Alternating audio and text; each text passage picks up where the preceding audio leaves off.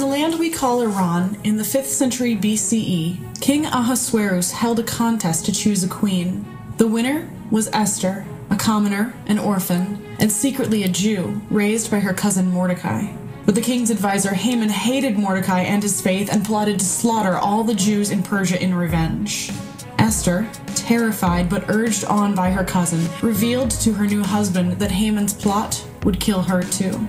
The king was outraged and ordered Haman hanged, and the Jewish people in Persia were saved.